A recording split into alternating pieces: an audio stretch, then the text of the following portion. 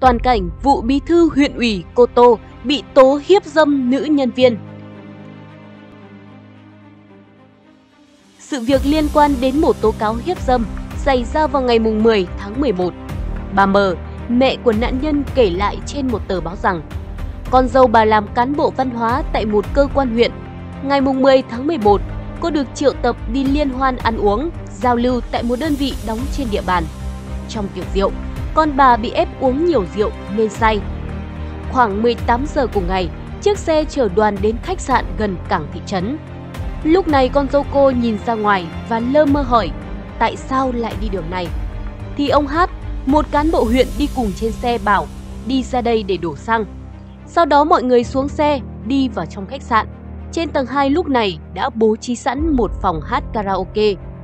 Con dâu cô lúc này được một chị đồng nghiệp đưa vào nhà vệ sinh để nôn, xong cố ra ngoài đến nhắn tin cho chồng đến đón về.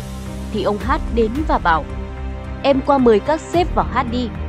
Con dâu cô bảo, em say lắm rồi, giờ các anh cứ bắt em hát là em ngã, không đi được đâu.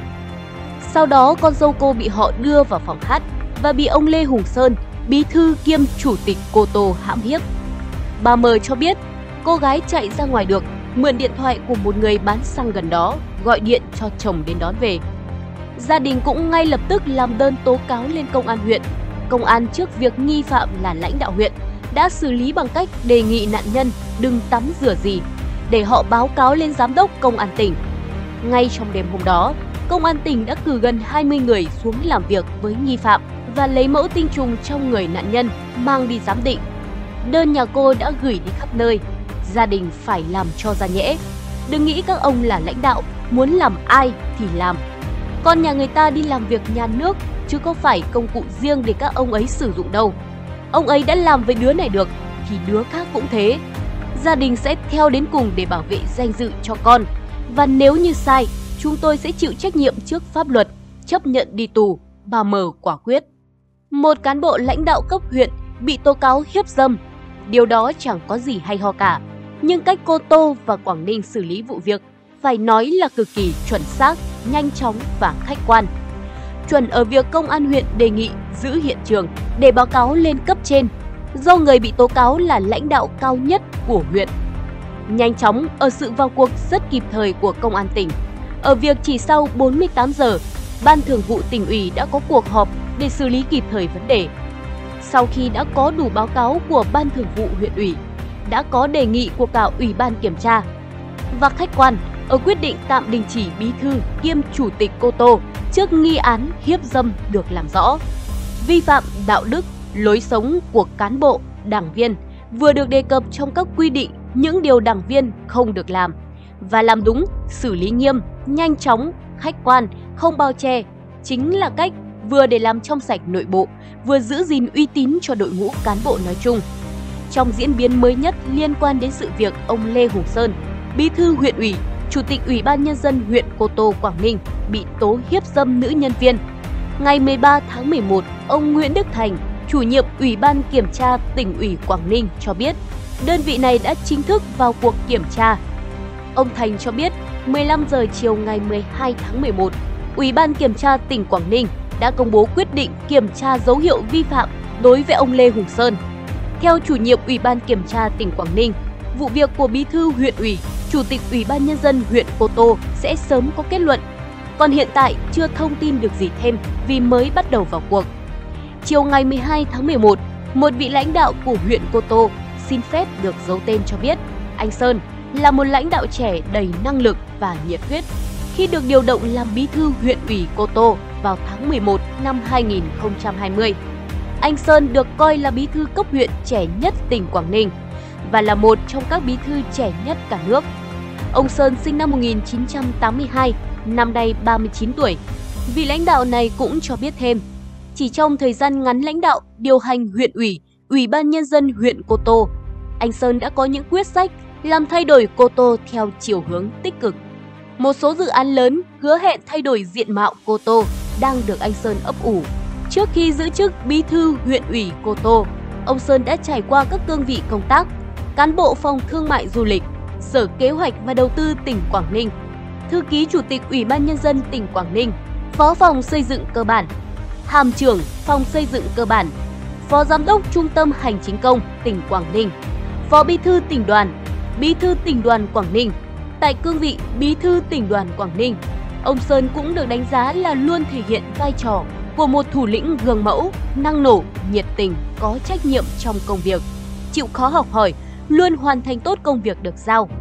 Về quy trình xử lý công chức khi có đơn tố cáo của công dân, luật sư Trần Thế Anh, đoàn luật sư thành phố Hà Nội cho biết, khi phát hiện hành vi trái pháp luật của bất kỳ cơ quan, tổ chức, cá nhân gây hại hoặc đe dọa gây thiệt hại đến quyền và lợi ích hợp pháp của công dân, thì công dân có quyền tố cáo hành vi vi phạm với cơ quan có thẩm quyền theo trình tự, thủ tục của luật tố cáo năm 2018. Việc giải quyết tố cáo được thực hiện theo quy trình sau đây. Tiếp nhận xử lý thông tin tố cáo, xác minh nội dung tố cáo, kết luận nội dung tố cáo, xử lý tố cáo của người giải quyết tố cáo, công khai kết luận nội dung tố cáo, quyết định xử lý hành vi vi phạm bị tố cáo, thẩm quyền tiếp nhận tố cáo, tố cáo hành vi vi phạm pháp luật trong việc thực hiện nhiệm vụ, công vụ của cán bộ, công chức, viên chức do người đứng đầu cơ quan, tổ chức có thẩm quyền quản lý cán bộ, công chức, viên chức đó giải quyết. Tố cáo hành vi vi phạm pháp luật trong việc thực hiện nhiệm vụ, công vụ của người đứng đầu, cấp phó của người đứng đầu cơ quan tổ chức do người đứng đầu cơ quan tổ chức cấp trên trực tiếp của cơ quan tổ chức đó giải quyết. Tố cáo hành vi vi phạm pháp luật trong việc thực hiện nhiệm vụ, công vụ của cán bộ, công chức viên chức thuộc thẩm quyền quản lý của nhiều cơ quan, tổ chức do người đứng đầu cơ quan tổ chức trực tiếp quản lý cán bộ, công chức viên chức bị tố cáo, phối hợp với các cơ quan tổ chức có liên quan giải quyết. Tố cáo hành vi vi phạm pháp luật trong việc thực hiện nhiệm vụ, công vụ của cán bộ, công chức, viên chức có dấu hiệu tội phạm do cơ quan tiến hành tố tụng giải quyết theo quy định của pháp luật về tố tụng hình sự, bao gồm cơ quan điều tra, viện kiểm sát và tòa án. Về hình thức tố cáo, việc tố cáo được thực hiện bằng đơn tố cáo hoặc tố cáo trực tiếp.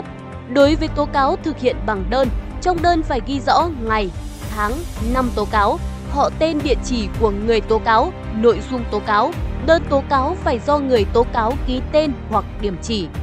Đối với tố cáo trực tiếp, người tiếp nhận hướng dẫn người tố cáo viết đơn tố cáo hoặc người tiếp nhận ghi lại việc tố cáo bằng văn bản và yêu cầu người tố cáo ký tên hoặc điểm chỉ xác nhận vào văn bản. Tiếp nhận, xử lý thông tin tố cáo. Khi nhận được tố cáo, người giải quyết tố cáo có trách nhiệm.